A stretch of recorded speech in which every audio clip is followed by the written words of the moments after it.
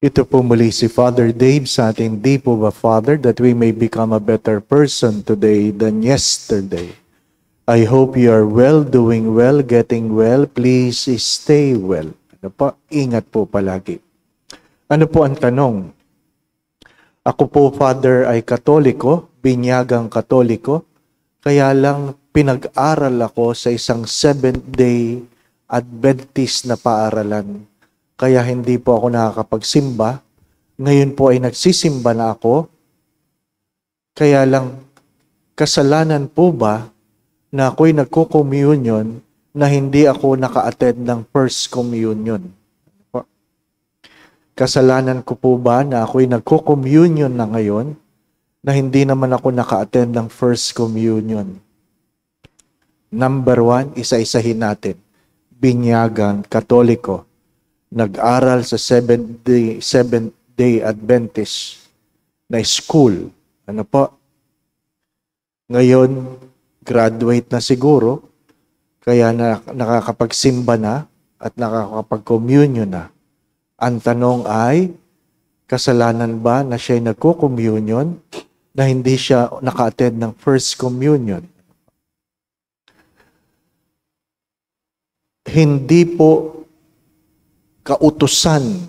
It is not a law that you will have the ceremony of first communion before you can take communion. Hindi po yan. Ano po? Hindi po yan sacrament, hindi po yan sacramental. It's only a formalities, especially for Catholic school, para naman merong may drama, para may drama. Di po ba no? Nagpe-first communion ka para maalaala mo, di ba? Ha? Nakaputi ka, nakabelo ka, luluhod ka, may picture ka, di ba? No? So, first communion. Ang problema doon, di na nasundan. Hindi ka na nagsimba. So, hindi po yun kasalanan. Ano po? But, ang akin pong concern ay, balikan ko, binyagan ka, nag-aral ka sa isang non-Catholic school, ibig sabihin doon, ang aking tanong ay, ikaw ba ay nagsisimba kahit ikaw ay nag-aaral sa isang non-Catholic school?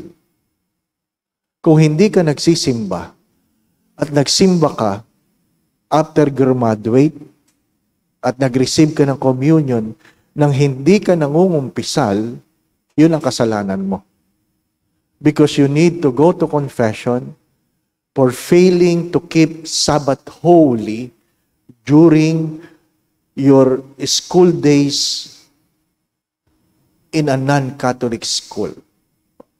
Yun ang kasalanan mo, hindi yung first communion. Ano pa? So inuulit ko, hindi kasalanan yung hindi kayo nakaka-attend ng first communion ah, ceremony. Marami yan. Marami yan sa public school, marami yan uh, hindi nakapag-aral, kung ano man, ano po, hindi ang kasalanan. Hindi ang kasalanan. Ang kasalanan ay, katoliko ka, hindi ka nakakapagsimba, at bigla ka na lang nagsimba at ng umunyon, yun ang kasalanan mo.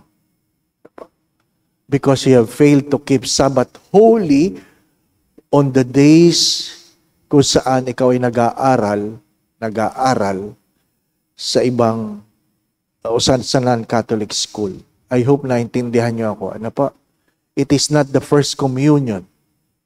It is the failure to go to confession when you know, ano po, dapat, dapat you go to confession and allow, you, you tell the priest so that He can journey with you and try to explain to you the things you miss. The things you miss. So, yung ibang nagtatanong tungkol do sa First Communion, hindi po yan batas, hindi po yan sacrament, hindi po yan sacramentals. Ano po?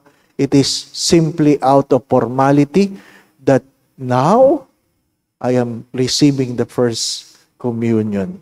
Muli po si Father Dave sa ating Di po ba Father that we may become a better person today than yesterday. Ingat po palagi. God bless.